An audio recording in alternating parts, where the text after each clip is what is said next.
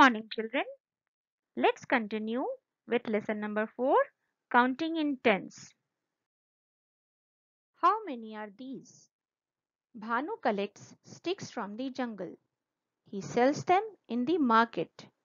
He uses 10 sticks to make one bundle. So 10 sticks make one bundle.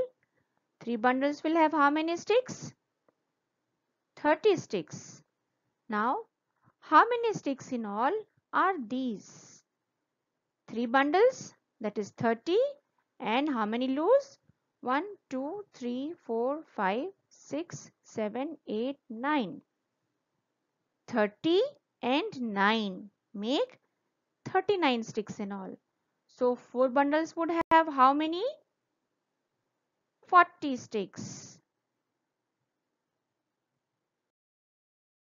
There is a wedding in Malti's house. She is making flower garlands. She uses 10 flowers to make one garland. One garland is equal to 10 flowers. So one garland represents a 10. Now let's see. She has two sets of garlands and some loose flowers. Let's count the first set. How many garlands? 1, 2, 3, 4, 5. 5 garlands means 50. And how many loose? 8. 50 and 8 is 58 flowers. In the second set, how many garlands? 1, 2, 3, 4, 5, 6. 6 garlands. And how many loose? 1, 2, 3, 4, 5, 6, 7. 60 and 7 make 67. Now how many garlands of 10 flowers each can you make using 21 flowers? Draw them in the space given in your book.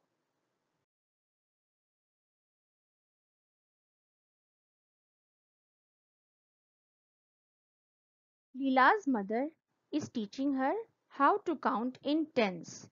She has kept some packets with 10 pencils in each and 4 loose pencils. Let's see what she is asking her. Leela, can you see all these pencils? How many are these?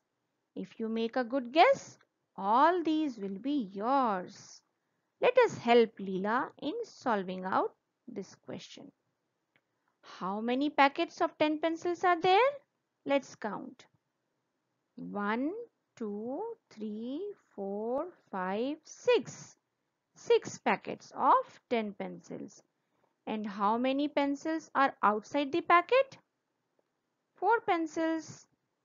So 6 packets make 60 pencils and 4 outside.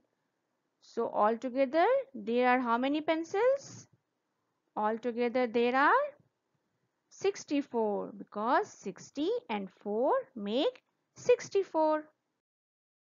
Kanak likes collecting different kinds of bindis. How many packets does she have? Let's see. 1, 2, 3, 4, 5, 6, 7. She has 7 packets of bindis. And on one packet, how many bindis are there? Let's count. 1, 2, 3, 4, 5, 6, 7, 8, 9, 10. 10 bindis on one packet.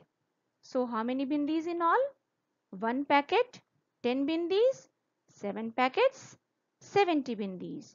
Now if you observe carefully, you will notice that there is a pattern of 3 plus 4 plus 3 on each of the packets. 3 plus 4 is how much? 7. And 7 plus 3 is 10. So children, it's very easy to count the total if the numbers or items are arranged in a pattern. Now you draw 10 bindis in a different way. You can arrange in the pattern 5 plus 5 or 2 plus 8 and likewise. Sending you a small worksheet on counting in tens. Read the instructions carefully and do the questions neatly. See you in the next class. Bye.